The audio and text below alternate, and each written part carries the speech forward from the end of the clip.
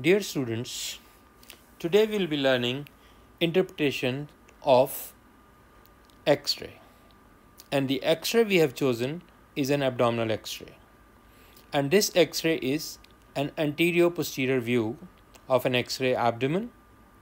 And specifically, if you can see at the bottom of this X-ray, it is saying KUB X-ray. So what this KUB stands for? So the word K refer to the kidney. The word U refer to ureter. And the word B refers to bladder. Which bladder? Urinary bladder. So this abdominal x-ray must be showing these three structures. So that is what we need to know. Now, if we look into this x-ray, first structure where we should be targeting is the bones. So for that, I need to erase all that so we can start labeling it again.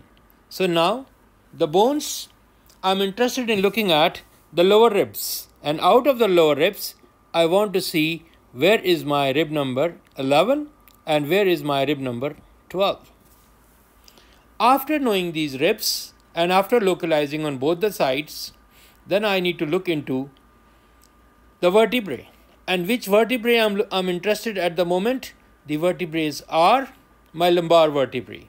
And let me number them so you can see the so what you can see here the first lumbar the second lumbar, the third lumbar, fourth and the fifth lumbar vertebrae.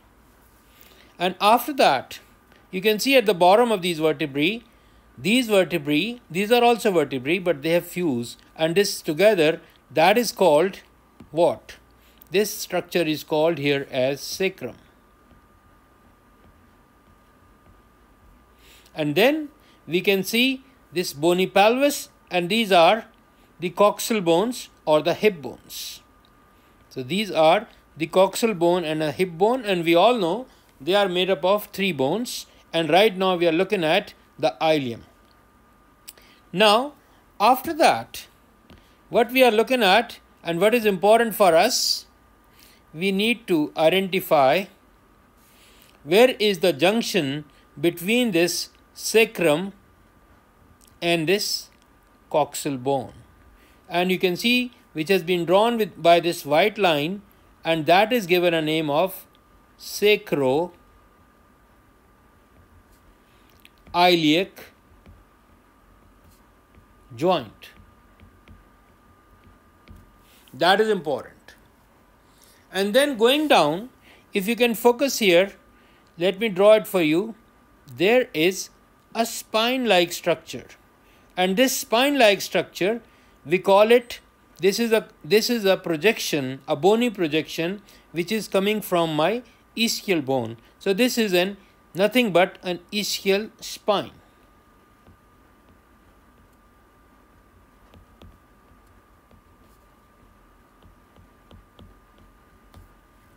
now after identifying these out of me these lumbar vertebrae what you can identify you can see there transverse processes and which has been present in both the sides of each of these vertebrae.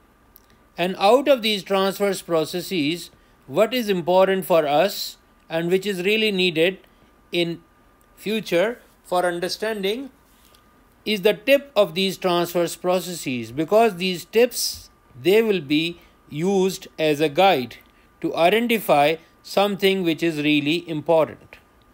So out of these bones, these are the very very important structure where we need to be clear.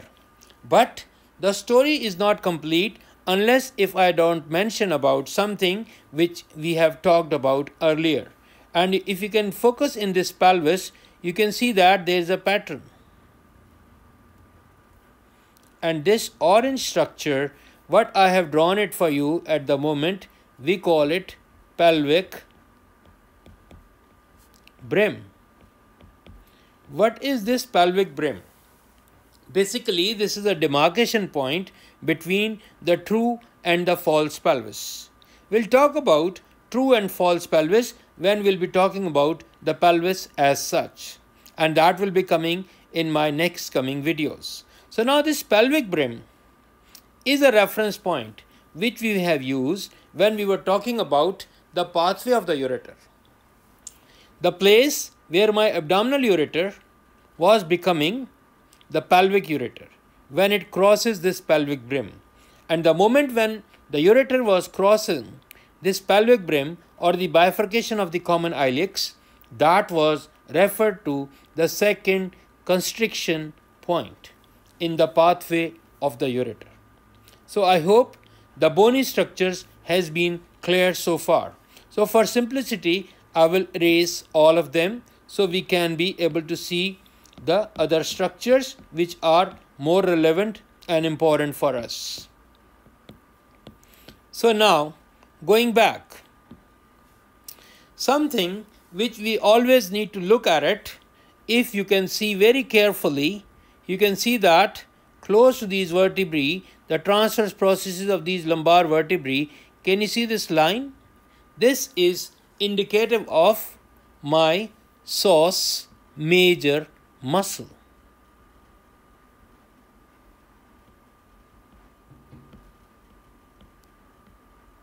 So this is my lateral border of the psoas major muscle. And that is one of the important landmark which should be visible in a normal x-ray of the abdomen we cannot see all other muscles. And if we need to look into further detail for muscles then we need to go for the options of CT and MRs but right now we are just talking discussing a plain x-ray. So after identifying this muscle then what we need to look at it? So for that, I'm removing these drawings, whatsoever has been drawn at the moment. Now, my next target, and I'm sure you can see this soft tissue shadow. And there I have marked the left kidney, which was very easily visible. And the basis of that, I was able to draw it. But the right kidney is not that nicely visible. As I have already mentioned to you, that this is a plain x-ray.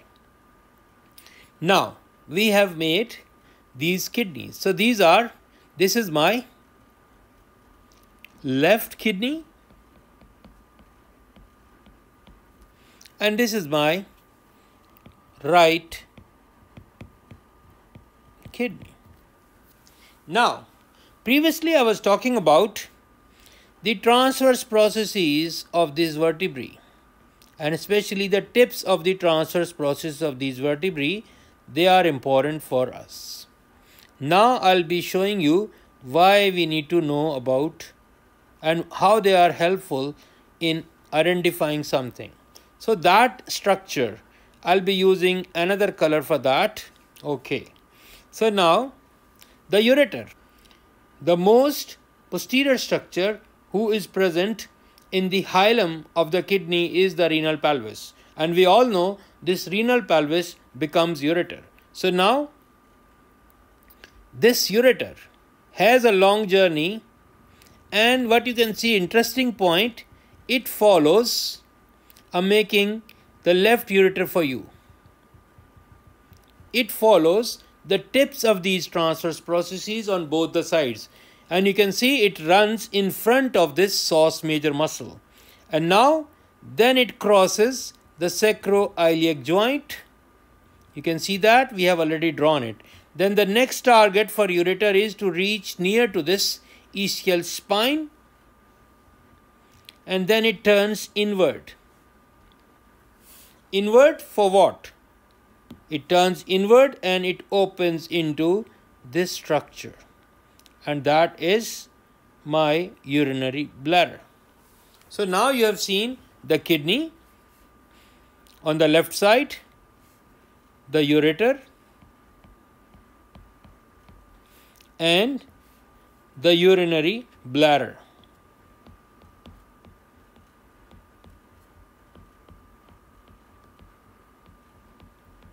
So I have made on the left side and similarly I can draw it on the right side as well and I'll be following the same landmarks.